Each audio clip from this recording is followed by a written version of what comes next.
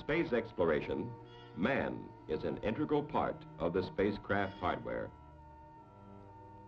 The human space traveler is able to serve a vital function which could not otherwise be performed. Man can make corrective control adjustments to compensate for certain electronic and mechanical malfunctions occurring within the space vehicle. But what is being done to protect man in this heretofore unknown environment? Bioastronautics personnel in the Air Force Systems Command are well qualified to select, train, conduct extensive research, and coordinate operational medical support in order to ensure man's safety in all manned space exploration. The resources are many, varied, and comprehensive, and are staffed by professionals of the highest scientific competence. Bioastronautics research activities span the continent. At Air Force installations and at universities and private industries sponsored by Air Force contract, professional staffs representing nearly every scientific area are teamed together with one objective, to support and sustain manned space flight. In order to illustrate the broad scope of Air Force bioastronautics research in support of manned space flights, many fundamental aspects of the overall program will be depicted. In addition, applied research associated with the factors involved at launch,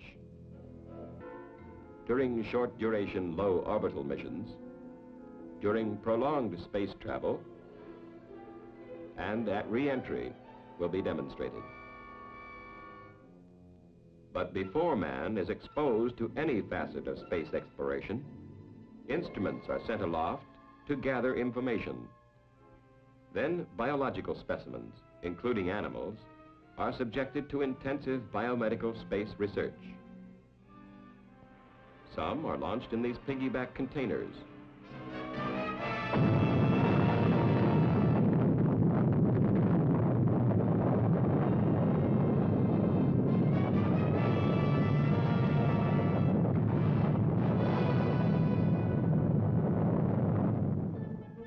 Many types of animals are used in the various stages of investigation, but chimpanzees are, for the most part, the optimum research animal for spaceflight because of their structural similarity to man and their aptitude for learning performance tasks.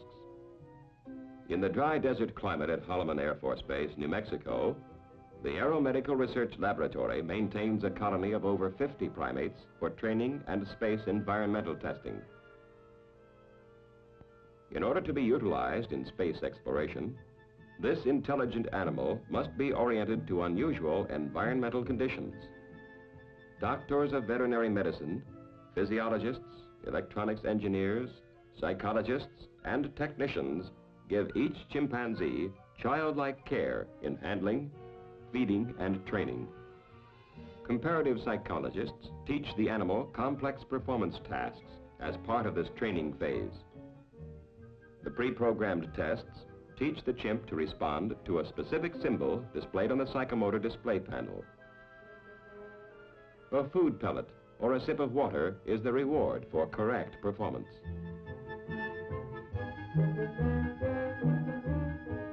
Environmental training, as well as all other phases of bioastronautics research, is under the constant supervision of highly specialized professionals. The chimpanzee precedes man in many phases of space exploration. New concepts of equipment must be tried and tested prior to placing man in the same environment. With this consideration in mind, Lockheed Missile and Space Company, Sunnyvale, California, working under Air Force contract, developed a primate capsule containing a closed environmental system, biomedical instrumentation, and a TV presentation monitoring system. Through successful application of data gained in the chimpanzee program and the concentrated efforts of the many interdisciplinary professions, life scientists are able to further their prime objective, the safety and functionality of the most complex of all missile subsystems, man. Prior to entry into the astronaut training program, the applicant must undergo rigid physiological and psychological acceptance examinations. Data collected in these tests by biomedical personnel are used not only in this evaluation, but are also stored for future reference baseline material. Initial baseline data acquisition is necessary for determining stress parameters or physical limits beyond which a human being could not safely proceed. After examining every aspect of the individual's clinical, physiological, and psychological state, the selectee is trained at the United States Air Force Aerospace Research Pilot School, Edwards Air Force Base, California. The astronaut must have adequate personal equipment which will offer protection during emergencies or when it may become necessary to leave the atmosphere of the capsule for any reason.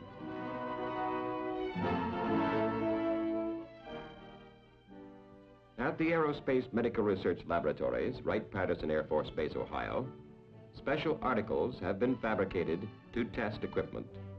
The final result is the creation of protective gear which far exceeds the human tolerance limits to severe external environments. Component parts such as wrist and elbow joints of full pressure suits are evaluated by anthropologists, physiologists, and by psychologists, assuring minimum detriment in human performance while guaranteeing maximum protection. Movement restrictions will be negligible and not hamper the astronaut so that he may instantly cope with any emergency situation. Simultaneous evaluations testing both man and equipment are conducted in many areas of this research and development. Reaction time to stimuli is tested on this computer program input and result analyzer. Personal comfort as well as safety must be examined in the many design and positioning experiments. With assurances of adequate protective clothing, we move now into other areas of continuous experimentation. At launch, there are four almost simultaneous occurrences for which the astronaut must have protection. Noise, vibration, toxicity, and high forces of gravity. Toxicity data gathered during launch explore the potential hazards of noxious fumes and chemicals on both the astronaut and ground technicians.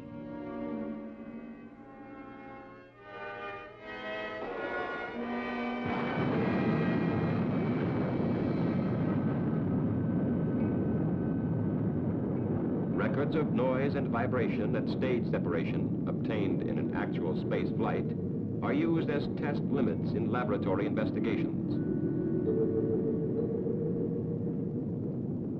These noise factors are reproduced in laboratory experiments. The ability to perform is studied during noise exposure tests. High-intensity noise exposure for even short periods of time can become physically intolerable to both support personnel and the astronaut. In addition, space operations require continuous, high-quality communications with the astronaut. Noise as an interfering factor must be reduced or eliminated. Vibration occurs during the high engine performance period at launch and prior to the time orbital velocity is achieved. These vibrations can become so severe as to lead to physical incapacitation. Research is conducted in biomedical laboratories to determine man's tolerance to this occurrence. In addition, training and familiarization programs are designed which tend to reduce the effects of vibration on the astronaut's performance.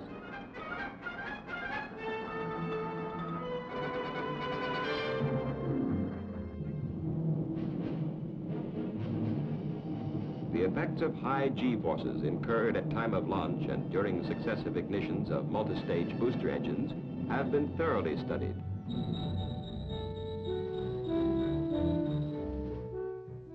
Human tolerance limits in various body positioning experiments have been established on the centrifuge. Complementary Air Force-sponsored research conducted at universities across the nation leads to a supply of qualified scientists and to diversified methods of approach.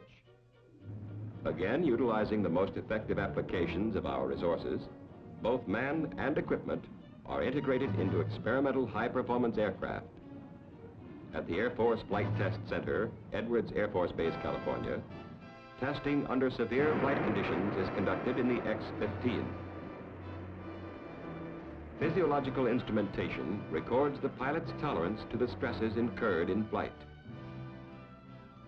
New miniaturized instruments located at strategic recording points on the pilot's body transmit information to a transistorized relay package situated behind the cockpit.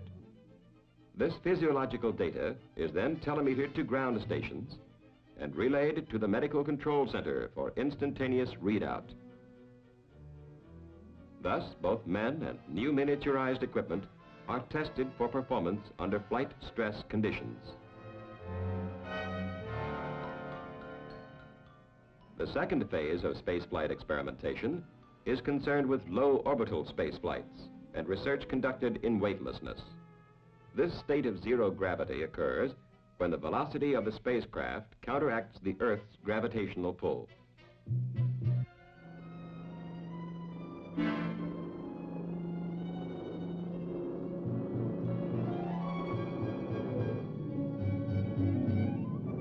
Man and equipment must be able to operate in a weightless state. Training and testing procedures developed by Air Force human factors engineers who, calling on experience gathered over years of experimentation, are able to simulate some of the effects of zero gravity. At the School of Aerospace Medicine, Brooks Air Force Base, Texas, disorientation experiments are conducted in a three-gimbaled chair, free-floating on a cushion of air. This apparatus provides three-dimensional freedom, one of the conditions the astronaut will experience in weightlessness. Any space travel will result in long periods of confinement. Crew members must be able to withstand this psychological stress individually and as a working group. Biochemical changes which take place in man and in his environment must be examined. Changes occurring in space cabin atmospheric gases are also being investigated in a test cell inside one of the pressure chambers. At the Aeromedical Research Laboratories, men and equipment undergo simulated space cabin confinement for the detection of changes in these ambient gases. Adequate oxygen supplies are an absolute necessity to sustain human life. A sensing device developed by the Air Force detects an insufficient supply of this vital element on a moment-to-moment -moment basis.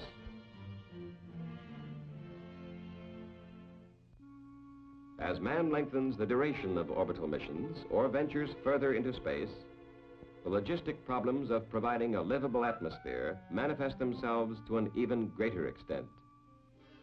Utilizing nature's own method of recycling carbon dioxide through plant life, the photosynthesis, or generation of oxygen, is produced using algae or other forms of rudimentary plant life. Another method of supplying oxygen includes the utilization of body waste to feed the algae or catalyze the photosynthetic reaction.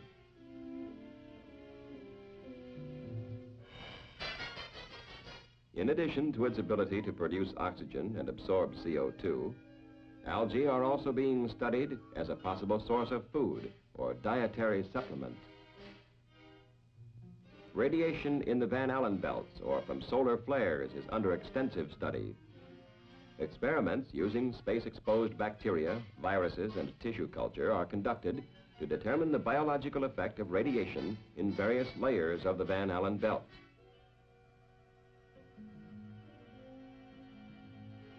At Kirtland Air Force Base, New Mexico, development of a plastic man with the same atomic composition as human tissue enables scientists to accurately determine the depths of radiation penetration as well as doses without actual human exposure.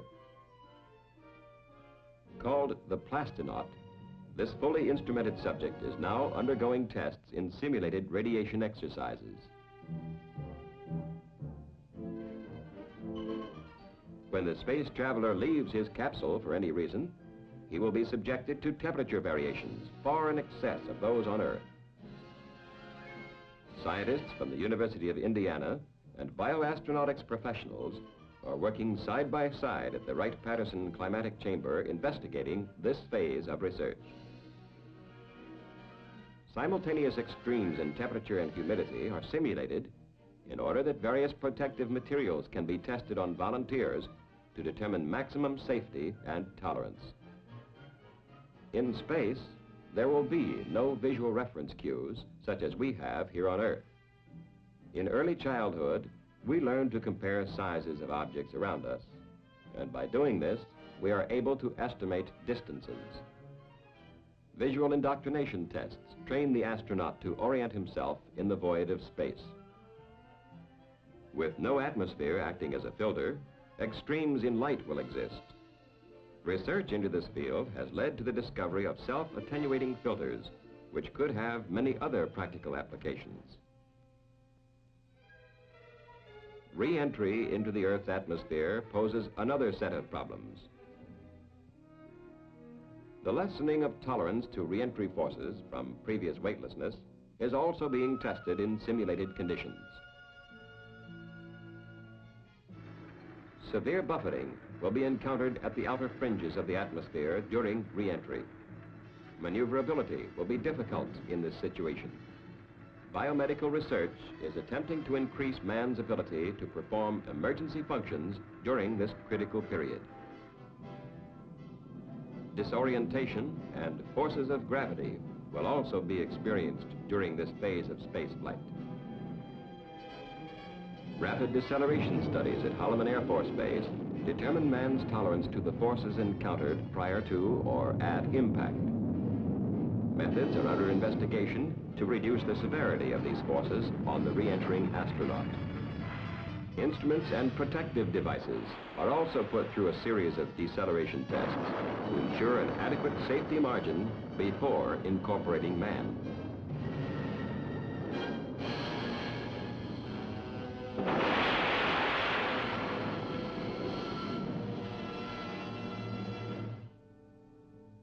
Restraining couch tests determine the best methods of positioning a human subject exposed to landing impact. Escape is essential throughout the entire space mission.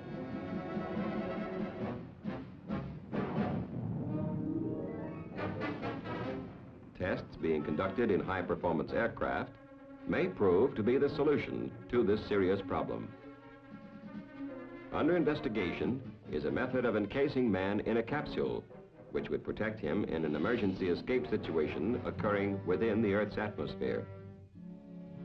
Bioastronautics activities in the manned space program do not end at the research phase, but continue throughout the entire program, extending into the operational support of all biological and manned space flights. From a strategically located converted blockhouse used as the forward medical station at Cape Canaveral, medical monitors are in constant electronic contact with the astronaut or the primate during countdown, launch, and flight. Medical specialists also monitor the flight proceedings from the astronaut preparation area. This facility is on a standby basis and is prepared to render instantaneous major medical support for any occasion that may arise prior to or at the time of launch. The Bioastronautics Unit coordinates the emergency recovery force at the Cape. This recovery team, comprised of all branches of the armed forces, is stationed at strategic points near the launch site and is ready to spring into action if necessary.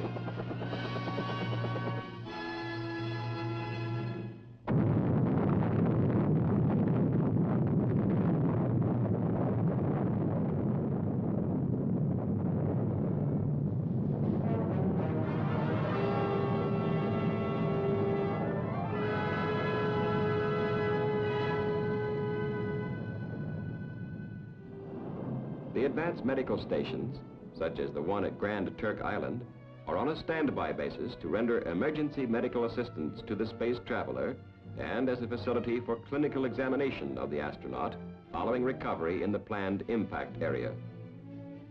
This hospital and other similar facilities are easily relocated at various geographic sites along the programmed space track. Bioastronautic support activities circle the globe with medical personnel on ships at sea and at island-based advanced recovery hospitals. We have presented just a few representative fields of endeavor conducted through the supervision of the life scientists in the Air Force Systems Command. This activity requires the many technical disciplines of highly qualified specialists coordinating as a team with one objective. To effectively blend the intricate and complex subsystem, man, into the exacting high-performance spaceflight systems of tomorrow. Every aspect of research for the protection of man in the space program is being considered and investigated by the bioastronautics personnel of the United States Air Force.